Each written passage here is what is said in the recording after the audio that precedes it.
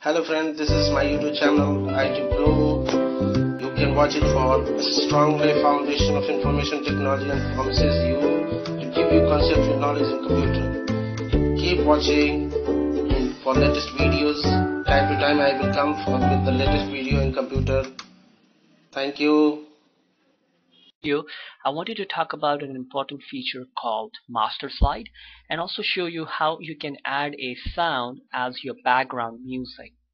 So under view, you see there is an option here called slide master. So the idea behind this is that you can go to a master slide of any one of these layouts. And what does this layout means? On home, when I was creating the slides, I was using these layouts. So each and every one of these slides has a master slide associated with it. So if I wanted to make the changes, so say for example, I want to change the word summary and table because these are using the single column layout, movie, smart art, and even the chart all together, I can go to the master slide of that layout.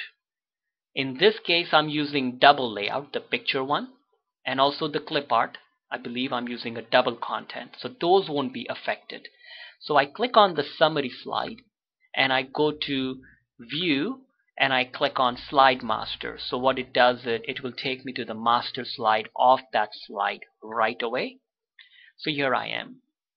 I can go to the other master slides from here too. So if I want I can highlight the title. As I point to it I see this window and I can change that color to something else. So whatever I wanted I'll just choose something different.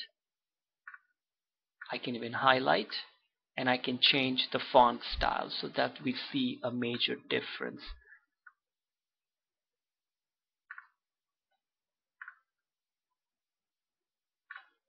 And now once I'm done and you can make any changes you want. You can make changes to the main bullet and this will affect all the slides with main bullets or the sub bullets so any changes you want you can make it here. And I'll close this slide master view.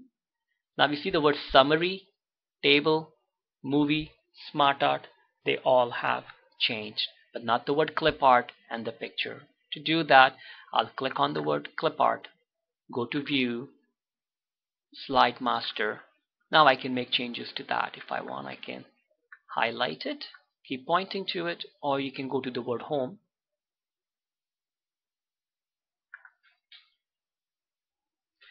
So from here I can change its font style to something different just to show the effects. And just remember to close the master view or you can go back to view and then normal. Either way and I can close it. And now we see the picture is red in color and also the clip art. So master view is a really good way to control the slides because when you have one or two or ten slides this is not a big deal but when you start to have hundreds of slides this is very handy. The next thing I want to talk about is how to insert a sound to your background. So I'm going to double click on this slide so I'll come back to normal view automatically or I can go to view normal and I'll go to the first slide. And I'll go to insert audio. In the previous version they used to call it sound. So I'll click on audio. And if you got it online audio if I've got it on my PC I'll choose that. Now I'll go to a sample sound. So there is a sample here. Double click on it. Now the sound is being imported and there is the symbol for it now you get tools for that. So the playback. Now what I want to do is I can control the volume. I can also tell it that start on a click instead of that I can say automatically and I will tell it to play across all slides. If you don't choose this, every slide it will reset to zero seconds. So it will just play for a few seconds and then reset. And you can also loop it if you were looping your PowerPoint and also if your the sound was two minutes long and your PowerPoint was going to run for five minutes so the sound will keep on looping and I can hide it during the show so that when the PowerPoint runs this doesn't show up. Okay. And if I'm just going to delete this, I'll go back to Insert, Audio, Audio on my PC. I'll double click on it again. And if you did not want to go through this, this is good to know because this is the way it's done in 2010. I can just play in background. And when I click it, you see all the settings automatically change to automatically play across slides, loop, and also hide. So now let's see. If I start from beginning, I should start to see, and there you can hear the music playing as the sound is going. I can hit escape to stop it. Now if you were going to email it to somebody and you wanted them to like see the PowerPoint right away, you can go to File. Make sure you hit the Save button first. And then you go to File, Save As. And then you save this file to your computer somewhere. The only thing to remember, you save this as a PowerPoint show. So you are looking for an option that says PowerPoint show. So when they get this file and they double click on it or they open it, it will start the show rather than it opening in PowerPoint. So that's the difference between a regular PowerPoint file and a PowerPoint show. So you can always do that. And if you were going to email it to somebody or give it to somebody, when you go to File, you'll see an option called compress media. Because if you remember in this PowerPoint now I have a audio file and also I have a video. So if I wanted I can compress it to like internet quality or low quality so that it's easy to email.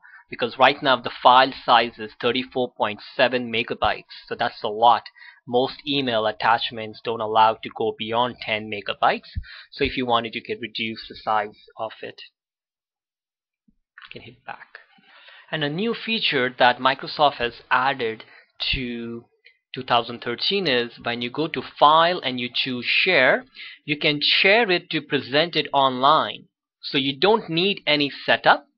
And a link is created that you can give to people and they can watch it and you can present the PowerPoint online you can also allow them to download it. All you have to do is choose this option to enable remote viewer to download and you just hit present online and it will start to create a option and a link and then you just click connect. So that's the really good, it's a public service, it's free. So it's a really neat feature so people can access it from anywhere in the world. All they need is an internet connection.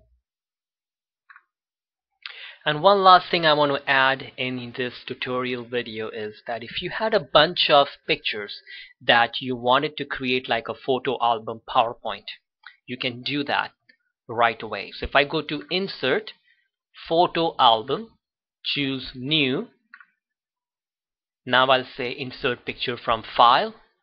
I'll click on the first picture, so go to where the pictures are and say I'll click on hold the shift key and then click on the last one and I'll click insert. And here are all the pictures that have been added. If I want I can remove something if I don't want it. How do you want your picture layout? You want it to be fit to one slide? You want two pictures on a slide? You can choose to be like that. Now you hit create and it will open a new PowerPoint. So this is a brand new PowerPoint slide. I'll just go to View, Slide Sorter, and there it is. It's put two pictures per slide, so I've got it ready. And it's the it's the different file itself. You'll have to save it if you wanted to keep it. If I hit X, it will ask me to save it. I'm just going to say no. So that's a very nice feature and I'll briefly mention here, I'm going to do a separate video for it, that under Insert new slide you can insert a slide from outline. So in Microsoft Word if you had a outline of a PowerPoint with bullets you could actually open that file and it will create a PowerPoint for you which I'll do it separately.